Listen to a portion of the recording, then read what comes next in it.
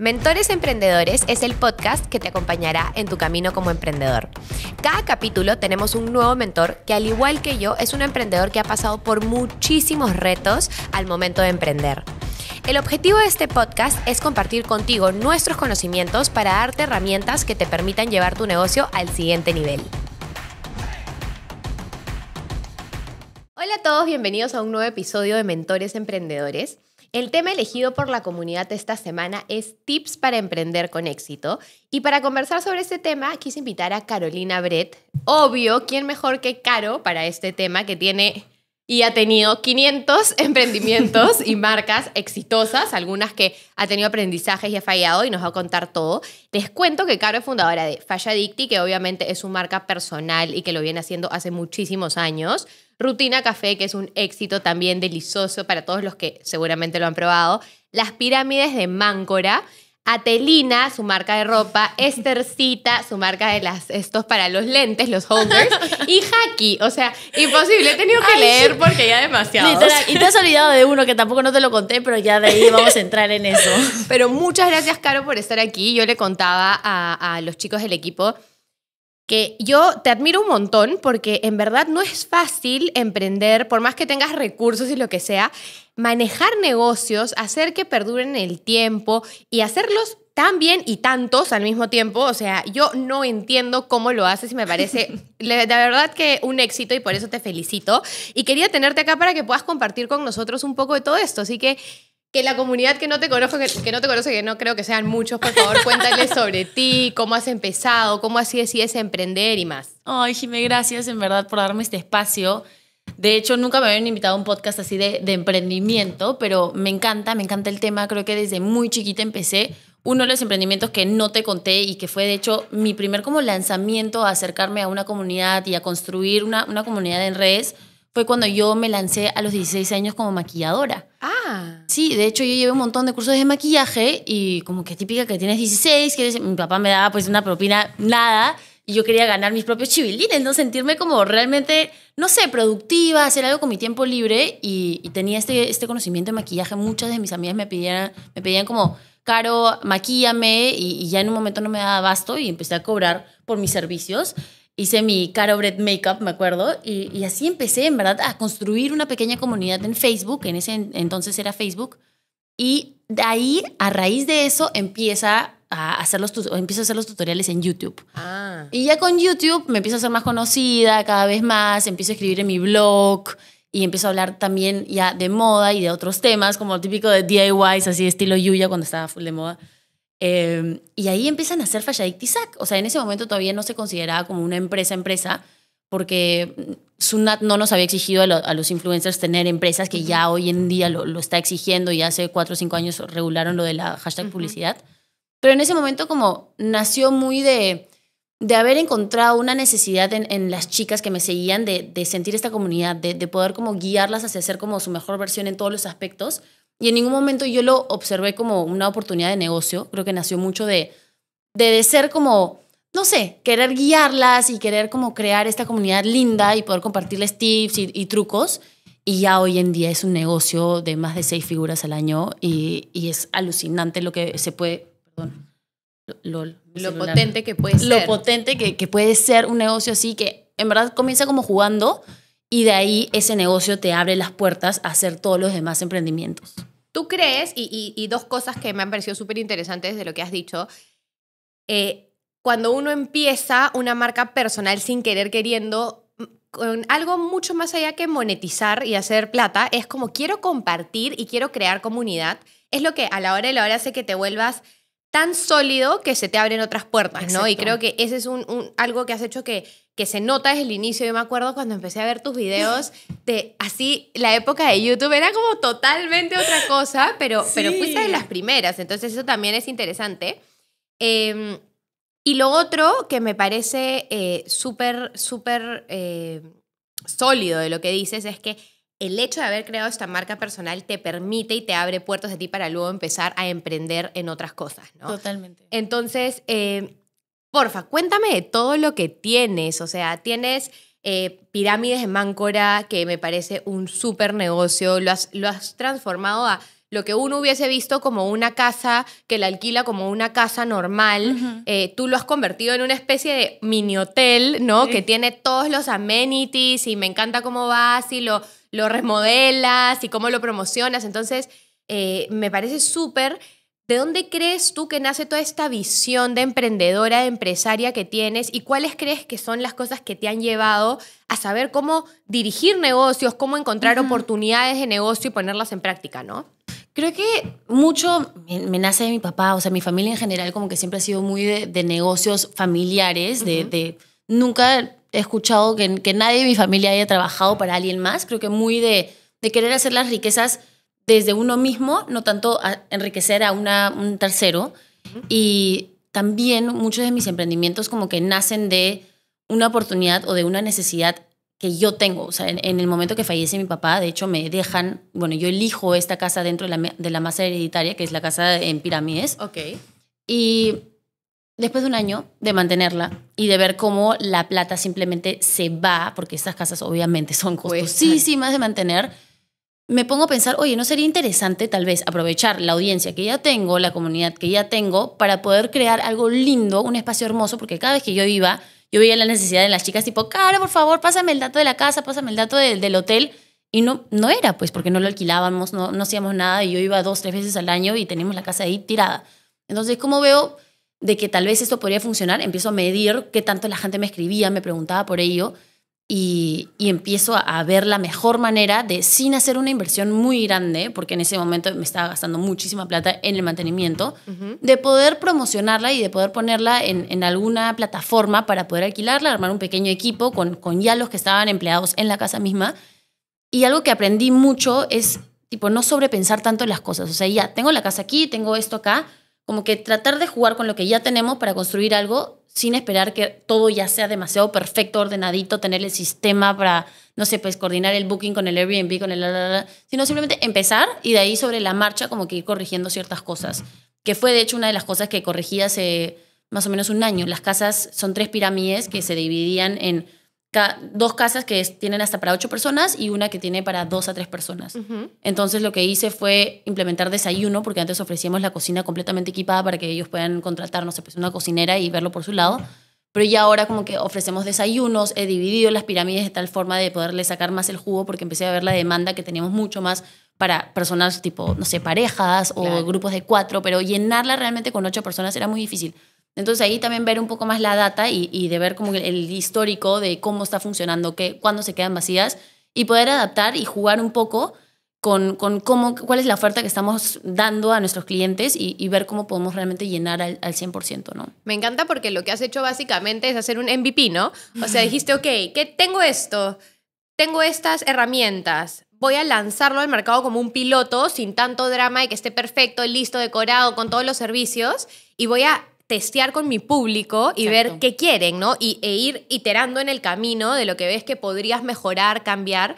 Y creo que ese es algo que todo emprendedor debe de hacer cuando empieza, porque muchos se paralizan porque no tengo la idea perfecta, no estoy segura si está listo, me falta esto, pero en verdad la, la, data la recibes tú cuando estás en la cancha de tu cliente, ¿no? Entonces tu cliente te va a decir, quiero desayuno, no quiero desayuno, me suma la casa de ocho, prefiero que sea un cuarto o dos cuartos para cuatro, ¿no? Entonces, ese es un tip súper interesante y me parece monstruo que hayas empezado por ver, oye, yo tengo esto que no me está generando valor o, dinero, me está más bien quitando, ¿cómo le doy la vuelta a la situación, ¿no? Exacto. Este, y me imagino que cuando tú empiezas, no empiezas de frente por booking, así, o sea, las reservas tipo homemade hechas por ustedes, claro. Ah. Y, poco a poco le vas aumentando softwares y, procesos. Ah, me, parece bien, bien chévere. Vi la parte del desayuno y dije, eso se necesitaba por fin, porque si no vas a un hotel, no tienes el servicio de comida y a veces te complica el tema de la cocina. Entonces, súper, súper, súper que lo estés haciendo conforme a lo que tu público te pide. Y con las demás marcas, por ejemplo, cuando decides emprender rutina, yo estoy en el rubro de alimentos y bebidas y es un reto. Por eso cuando yo te veía decía, o sea, Carolina tiene rutina tiene estercita, tiene haki, tiene. O sea, por Dios, yo tengo King Nuts y con las justas le dedico como unas horas a mi marca personal y no me imaginaría teniendo 18 emprendimientos más. ¿Cómo decides entrar a esto? ¿Por qué? ¿Cómo te fue? ¿Aprendizajes ahí? Muchas yo creo que siempre había sido como nuestro sueño de crear una cafetería así. O sea, Bruno estaba metido en, en lo del café y yo estaba muy metida en lo estético, o sea, siempre que viajaba, como íbamos a cafeterías hermosas para tomarme la típica fotito instagramiable. Y esa necesidad creo que no se veía cubierta en ese momento en Lima. Y muy aparte que estábamos justo pasando por pandemia, estaban quebrando un montón de restaurantes, entonces como que yo vi ese momento en donde estábamos con, con toda esta juventud que había estado encerrada meses de meses, que ya quería encontrar un lugar en donde estar, en donde poder trabajar, tener su como que home office, pero en un café para no estar tanto tiempo encerrados en su casa, pero en un lugar hermoso que, que realmente te acoja y bueno, se nos presenta la oportunidad de un local que había sido liberado justo por pandemia, eh, nos lo ofrecieron a nosotros y, y, nada, y nos lanzamos, o sea, era, era una locura, yo me acuerdo en, ese momento, muchas veces tenía hasta pesadillas porque tenía tanto miedo de, de cometer, no sé, algún error o algo y de que también quiebre como todos los restaurantes o que nos vuelvan a encerrar y, y cómo iba a manejar el, el delivery, pero en verdad simplemente nos mandamos. Yo, yo, creo que ese es como uno de los aprendizajes tipo, que más puedo rescatar de todos mis emprendimientos. O sea, simplemente mándate, a ver, chequea y de ahí sobre la marcha vas corrigiendo y, y vas armando la, la, estructura según tu demanda, según tu oferta, según tus clientes y, y, vas viendo. Y cuéntame, si ninguno de ustedes era cocineros, chef, pastelería, panadería. O sea, yo sé que tú preparas un montón de cosas porque te veo ahí con tus recetas homemade que yo no llego ni a las tostadas francesas, pero por eso veo y te salen lindas, ¿no? De, de verdad como de Pinterest. Este, ¿cómo deciden o sea, contratan gente para que los ayude para la carta, cómo hacen para que lo que... Porque a veces, muchas veces pasa que, que tú contratas a alguien, ¿no? Eh, te desarrolla todo el proyecto, la carta, listo, te lo deja ahí en recetas, pero mantenerlo estandarizado, que mm. pase entre todo el equipo y demás, no se logra mantener. Entonces, ¿cómo han hecho ustedes? Porque yo soy cliente de rutina, de hecho, he pedido tal, acabo de pasar la semana pasada por un café, por unas empanadas, y es lo mismo de cuando empezó, ¿no? Entonces, ¿cómo fue esa experiencia para ti? O sea, en verdad, la primera vez dijimos, pucha, mejor contratemos algo, porque yo empecé a hacer como que el desarrollo de la carta, pero no, yo no como que confié mucho en mi capacidad en hacerlo, porque claro, no tengo como que los estudios, no, no siento que, que haya realmente estudiado eso, soy súper apasionada de la cocina, o sea, preparo unos desayunos en verdad bien ricos, ¿para qué? te vi, te este, vi en el gran chef. sí, por favor. Pero como que yo no sentía la confianza. Entonces dije, ya voy a invertir en esto. Creo que es importante para ver más o menos. Pero realmente no, no hice clic para nada con la persona que, conectamos, que, contratamos para hacerlo. Nos propuso unas locuras que, por ejemplo, no sé, cosas con mariscos o con pescados, como que muy enfocado en, en una brasserie parisina, una cosa así, y teníamos contaminación cruzada en el frío. Y era como, no voy a entrar en esta logística. O sea, yo quiero hacer algo casero, lindo y enfocado mucho más en, en, cafetería y en este espacio en donde la gente pueda como que tomarle la, exacto, la experiencia, tomarle la fotito y esto y no necesito algo tan rebuscado en cuanto a cocina en sí. Entonces como que ya aceptamos más o menos lo que nos entregó, pero le hice muchísimos cambios. Y de ahí algo que creo que me ayudó muchísimo es que cada julio hacíamos nuestro, nuestra carta de invierno, nuestra carta de verano, que eran como cartas estacionales, pero manteníamos nuestra carta fija y la íbamos cambiando como cada año dependiendo como, no sé, el paloteo, viendo cuáles eran los productos que más funcionaban. Pero lo que realmente creo que nos ayudó mucho es que no teníamos una estructura tan grande. Entonces éramos literal Bruno y yo como accionistas y como jefes y de ahí yo era directamente con la cocinera. Era yo y la cocinera en, en, la cocina dos, tres días haciendo pruebas de carta, íbamos probando la presentación, le tomaba la foto, como que corrigiendo sobre la marcha, muy, no sé, muy casero, muy como, como familiar el negocio, no tan estructurado, no, pucha, tan como que desde de un arranque como con procesos demasiado específicos y mucho confiando en la sazón y en el sabor también de nuestro equipo. Ya obviamente cuando empezamos con el segundo, tercer y cuarto local, como, bueno, el cuarto todavía está ahí en proceso, pero ya ahí se tuvo que estandarizar, empezamos a tener una planta de producción y obviamente ha sido siempre un reto como que mantener el mismo estándar de calidad en todos los, los locales, que sí hemos pataleado un poquito con eso, por ejemplo, en, no sé, en el local de San Isidro como que a veces hacían mamarracho y medio. Entonces, tipo, cambios en el equipo. te, entiendo, te, entiendo, te entiendo, Entonces, mientras más presente estés en, cada local, como que más puedes controlar. pero ya en un momento no te das abasto como dueña o como dueño y, y tienes que empezar a delegar. Y ahí es demasiado importante, tipo, hacer un buen proceso de selección de personal, Sí. un buen proceso de capacitación y en ese proceso estar presente y como que darles esa energía y darles esa, esa como motivación también de- del por qué tengo que decorarlo con la cebollita china picadita, ¿me entiendes? Exacto. Y, y que ellos entiendan también por, por qué le damos tanto énfasis en la presentación, en el sabor y qué es lo que queremos lograr detrás, que es al final que la gente tome la foto y que se vaya feliz y que nos suba un súper buen review a TikTok y, y, y eso ya vaya generando más gente y a la vez también a ellos le, le cae, no sé, pues un bono a fin de mes súper claro. bueno, ¿me entiendes? Obvio, y, y lo que dices ahí, hay dos cosas que me, que me parecen bien interesantes, ¿no? Porque, claro, la propuesta de rutina que yo siento que era súper llamativa al inicio era la flexibilidad de cambiar y de sacar cartas nuevas y productos nuevos tan rápido, ¿no? Porque yo, por ejemplo, no tengo esa facilidad. O sea, hoy por hoy, y, cuando hablas de los procesos, de hecho muchas veces he dicho, ah, su, de verdad quería el camino de la cadena con cuatro o cinco tiendas, ¿no? O preferiría hoy por hoy tener mi lugar donde ahí estoy todos los días y puedo hacer y deshacer porque es un punto de venta que me permite ser mucho más creativa, ¿no? Porque, oye, quiero sacar esto nuevo, hoy día quiero dar esto eh, de sampling a la gente, pero no lo tengo que replicar en cuatro lugares al mismo tiempo, Exacto. ¿no?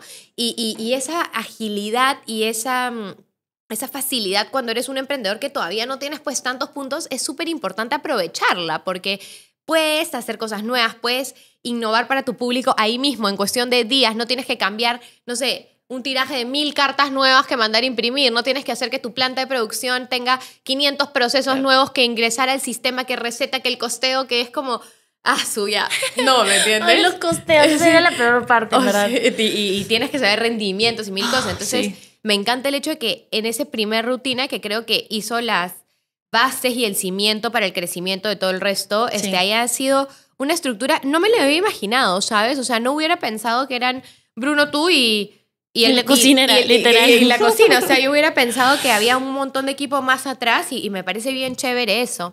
Ahora, bueno, Atelina, cuéntanos un poco sobre Atelina, porque también me, me gustó cuando recién nos sentamos aquí a conversar que me dijiste, hay que contar también de los que... De los chicos. De los, de los chiquitos y los que quizás hoy no están activos, pero para contar los aprendizajes, ¿no? Entonces, Sí.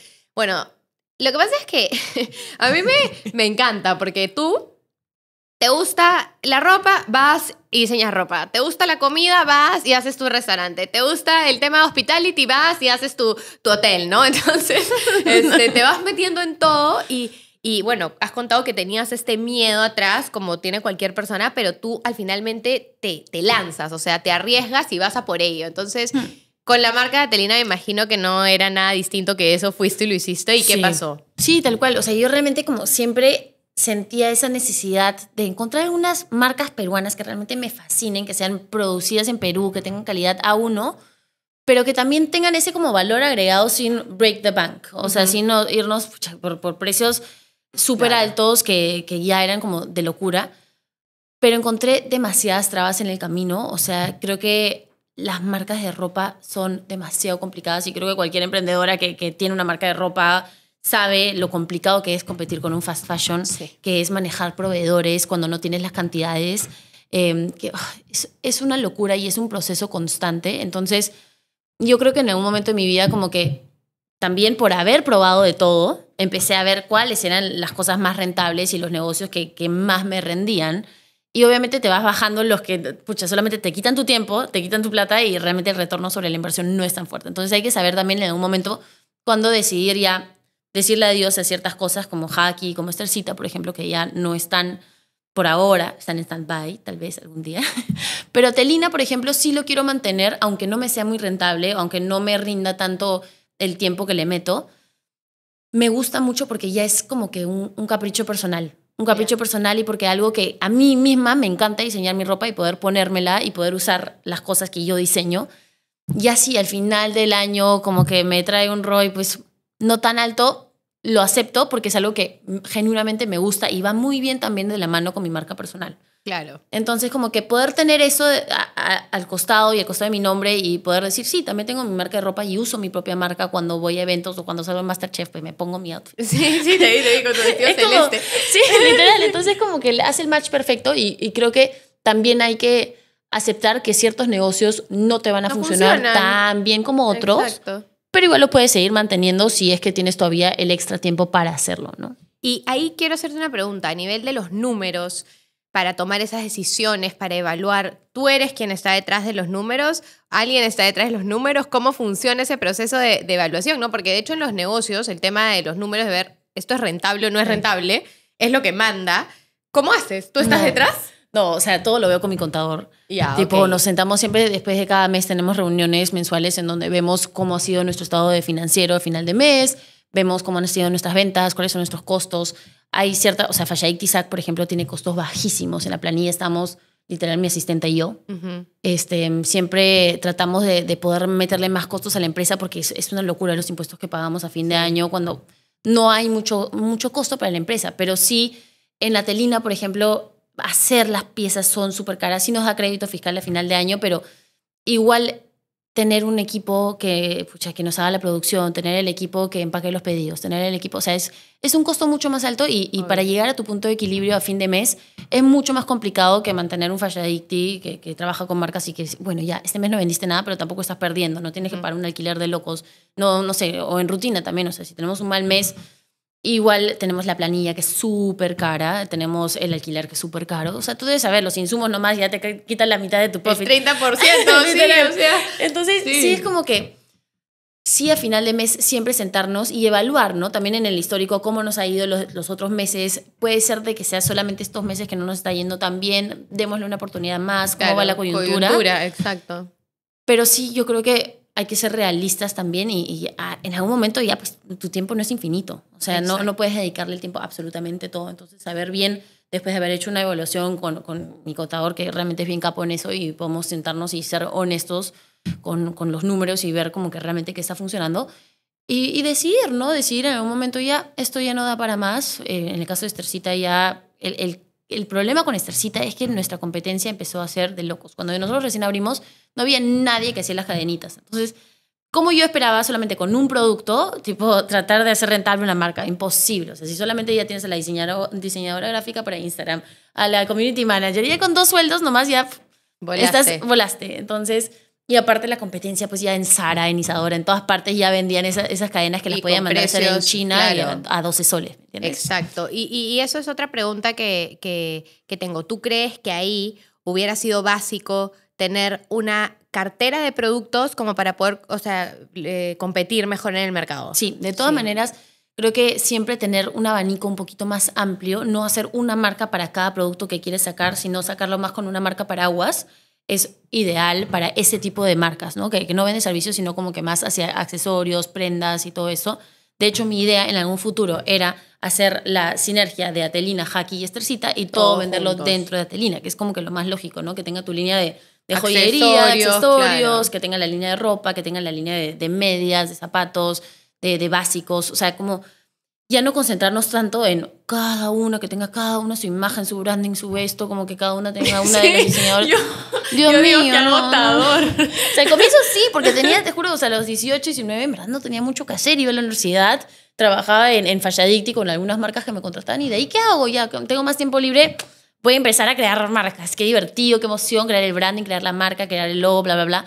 Pero ya en un momento, oye, claro, empieza a enfocarte. O sea, ya no dispares a todas partes, sino chequea los números bien, hacia dónde te tienes que dirigir y qué es lo que también quieres hacer en un futuro y qué es lo que te puede como rendir ya a largo plazo, ¿no? Y en, en siguiendo esa línea de la pregunta, ¿tú cómo ves que te quedas? O sea, ya dices, ok, aquí ya estoy con, me quedo rutina, este Fashadicti y las pirámides, este, quieres hacer más proyectos todavía porque tienes esta locura por abrir más marcas y hacer más negocios.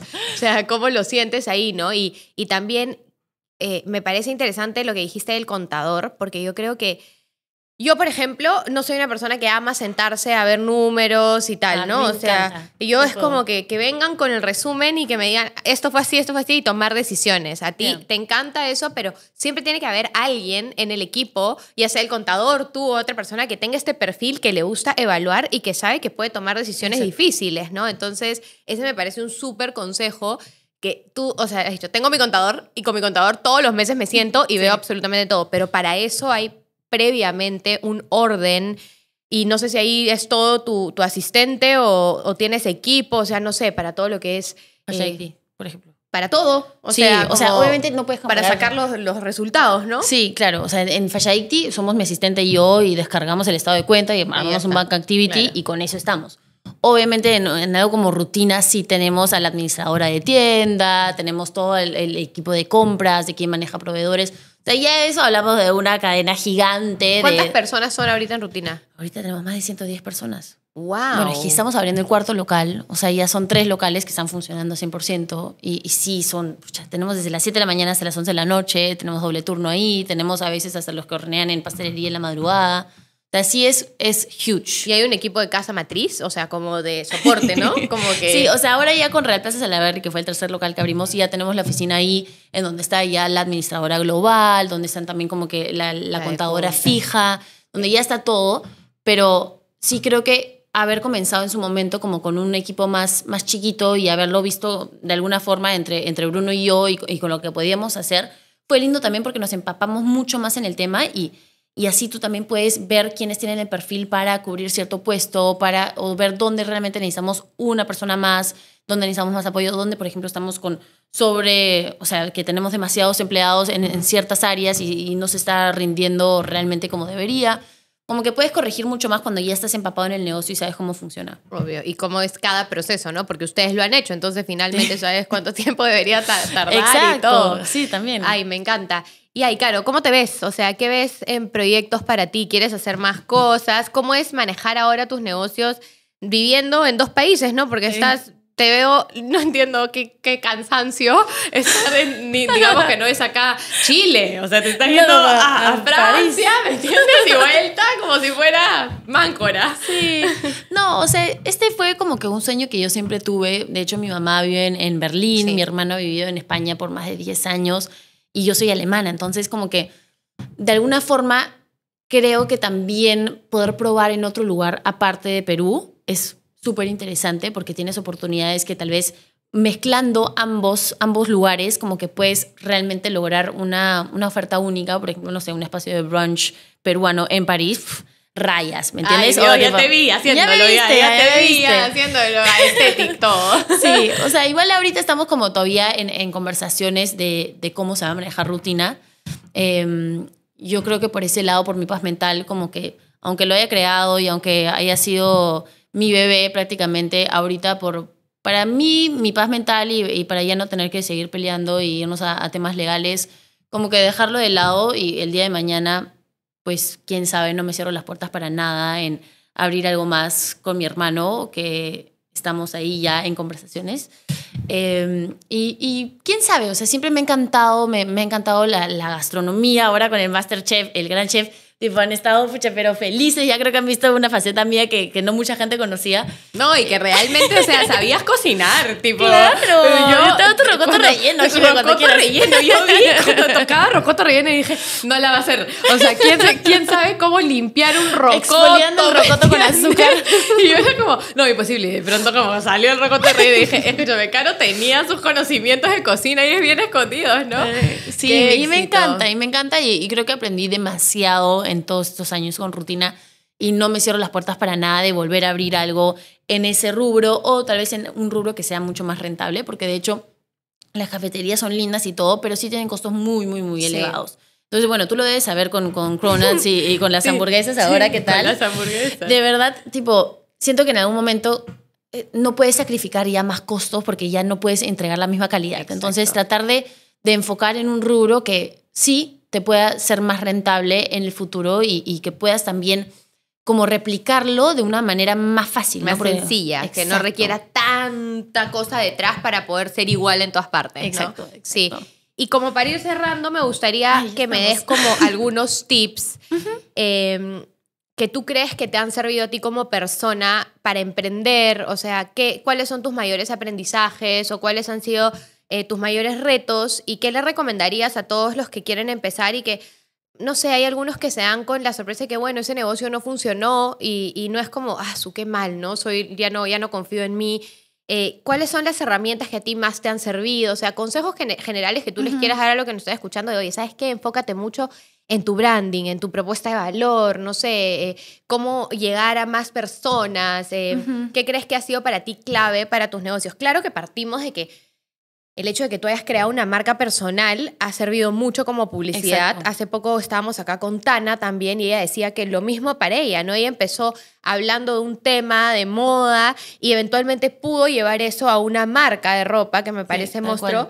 Y, y creo que ese es un camino que muchas personas hoy que nos escuchan en la comunidad también quieren seguir, porque estamos en un momento en el que con tu celular, que todos tenemos uno, tú puedes abrirte una pantalla de comunicación si tienes Exacto. un mensaje que, que entregar y, y- y tienes claro de lo que quieres comunicar y quién lo quiere escuchar, ¿no? Entonces, Exacto. Y, y no entiendo las personas que todavía no lo han hecho. tipo, Sí. ya, o sea, si tienes un emprendimiento, o sea, Jime, mírate a ti. Tipo, tienes por el lado King Cronas, pero también estás trabajando en tu marca personal. Y es algo importantísimo que, creo que todo el mundo que tenga un emprendimiento tiene que hacer, porque al final queremos conocer quién es la persona que está detrás de esto y es algo mucho más familiar. O sea, si yo no me voy a un Starbucks y me voy a rutina, es porque sé quiénes están detrás. Sé, sé que es a quién estoy enriqueciendo, ¿me entiendes? Exacto, ¿a quién le estoy comprando? ¿Cuál es su, su Sí. filosofía de vida? ¿no? Exacto. Eh, sus valores, su cultura. Mucho más humano, no sé, más Exacto. rico. Yo, mira, cuando King Cronuts nace hace nueve años, no existía en ese entonces la gente saliendo en redes a mostrar. Claro, y yo. cuando estás en la Universidad de Lima y te compraba. Ex- ¿Te acuerdas? Yo, Claro. Fue uno de mis primeros puntos.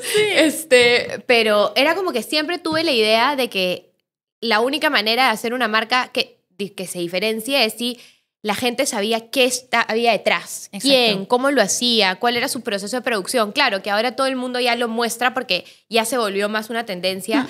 pero, pero como tú dices, ¿no? O sea, si tienes la capacidad y la posibilidad de agarrar un celular y mostrar, hola, soy tal, vence ese miedo, ese roche, que a la hora de la hora va a tener muchísimo mayor este, re- recompensa que lo que fue, no, no quiero salir porque me da vergüenza si a nadie le caigo bien. No, No, entonces contrátate a alguien que lo haga por ti y que se venda como el dueño de tu marca. Porque tienes que ponerle cara a la marca. Y hoy Sí. en día es, es un must.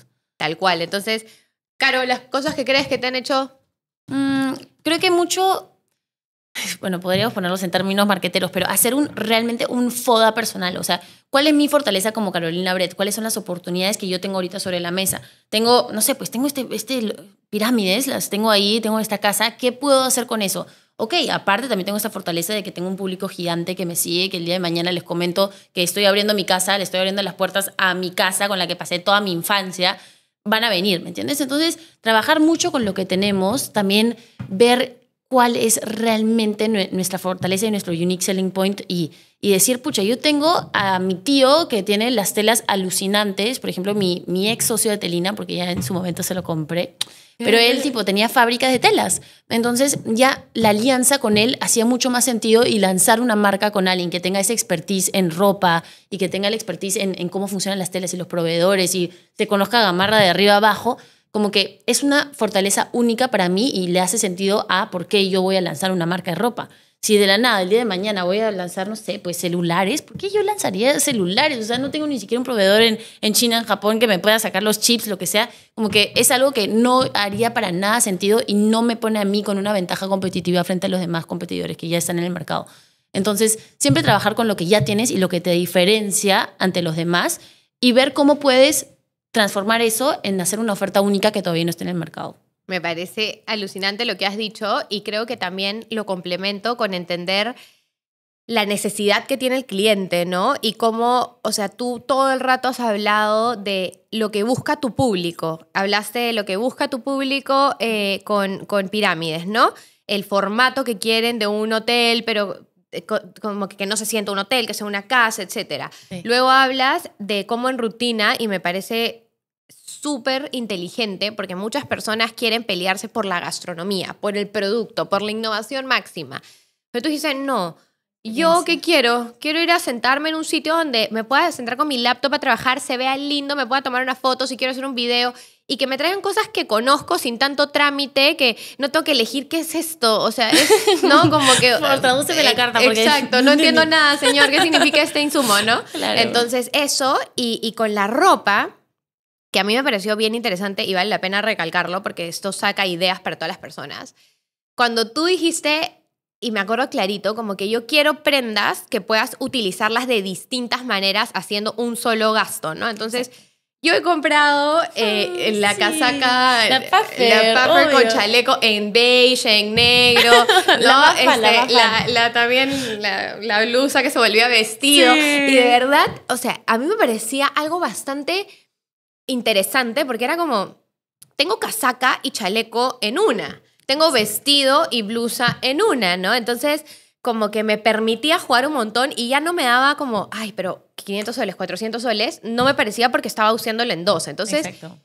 esas propuestas de valor que vas eh, encontrando, que hacen que por más que entres a mercados que ya están Sobresaturados, porque la Exacto, y ropa en con un Lima... montón de competencia, pero le encuentras algo distinto cómo comunicar esta propuesta de valor, ¿no? Entonces Sí. creo que cuando el emprendedor parte de entender claro qué necesidad resuelve en su público, cómo dar valor agregado a través de algo que quizás ya exista, cómo hacer experiencias diferentes y aparte combinando lo que tú has dicho, tus fortalezas y mirando tu- a tu círculo, ¿no? O sea, Ahí es- están mis amigas, por ejemplo. ¿Qué Tipo, ahí nomás está tu primer focus group. exacto. Todas tus amigas, aprovechalas. Y, y- y lo que tú dices, no, oye, si, si este amigo está metido en el tema de ropa, a mí me gusta la ropa, combino fuerzas con él y Exacto. puedo entrar porque no todo lo vas a saber ha- hacer tú, ni tener todos los contactos. Sí. Entonces, nada, me parece súper chévere. Muchas gracias por haber estado aquí, de verdad. Te estoy feliz por ti. Ya sabes que yo soy como fan de que tu vida esté encaminada hacia un buen lugar. Yo soy fan de esto y te agradezco por haber estado acá, Caro. Gracias a ti por darme el espacio, en verdad, increíble. Sí, lindo compartirlo y también lindo que ustedes hayan escuchado este episodio hasta acá. Los, les agradezco a ustedes también. No se olviden de compartir este episodio con todas las personas que lo puedan querer ver, suscribirse al canal. Y no me puedo ir sin antes agradecer a los sponsors que hacen posible este podcast. Sumato Brands y Esteban B. Films por la producción maravillosa. ¿Qué tal está la producción, Caro? Tú que sabes de todo por esto. favor, acá. Todo, muy bien. y a Comunal con el espacio que viene ap- eh, apostando por este proyecto desde inicios de año. Así que muchísimas gracias y nos vemos el próximo lunes.